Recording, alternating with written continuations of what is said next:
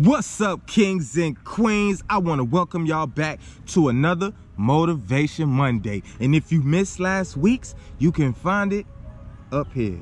Now, let's get into the bag. Now I got three quotes for you today. And today, we have all quotes coming from a new album that just dropped by Spillage Village. The album is called Spilligion. Now, I found the album quite entertaining. It's a very smooth album, very chilled, laid back. But the best part I found were the quotes. Let's get into them. For quote number one, that's coming from Jid, J-I-D, and the song is Baptized. Now, the quote is, how do you get money and act as if poverty's past tense. I love this quote because there's so many people in the world who get rich that may have come from poverty stricken lifestyle.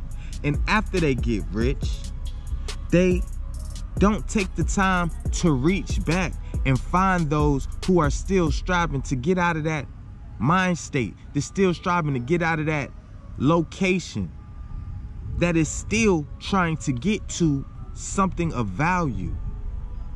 Yes, there are a lot of people within poverty who are stuck in the poverty-stricken mindset and are not really striving for much. But there's also dozens and dozens of concrete roses. Those are the individuals we should always strive to look back for. Quote number two is coming from the song End of Days, and the artist is Johnny Venus.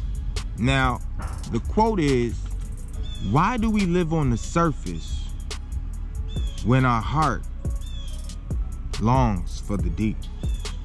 I feel he was trying to reach and take shots at the superficial world we live in. So many of us want true love, but yet and still need cars, clothes, home, good job. A lot of things that don't have anything to do with the deep is what we stay focused on. It is so hard for us, for some reason, to look past the superficial. It is sometimes hard for a woman to look past a man's lack of and look deeper into what his heart truly holds. Now for quote number three. This is coming from the personality called Big Rube on the album. The song is Hapi. H-A-P-I. Now, he says, freedom is beyond anyone outside of yourself's control. It cannot be bought or sold, given away, or even stolen. A lot of us feel we have no freedom. We feel we must constantly fight for it. And yes, you must constantly fight for it, but that is an internal fight. An eternal, internal fight that we shall forever be fighting.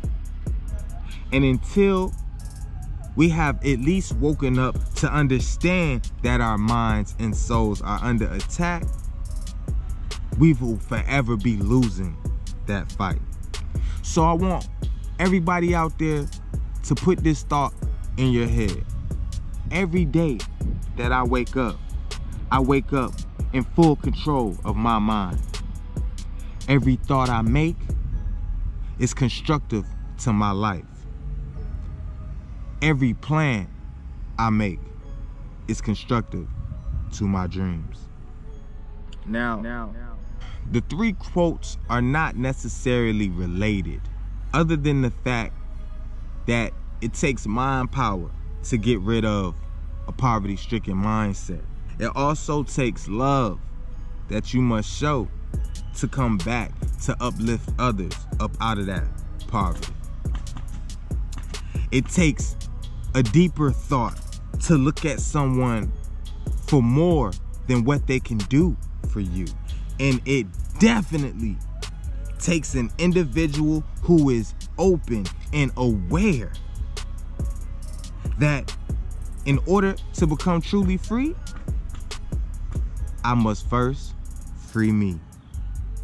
Now that's all we got for Motivation Mondays.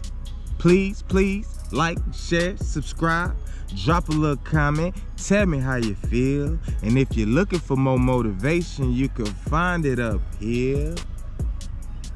And I'm out.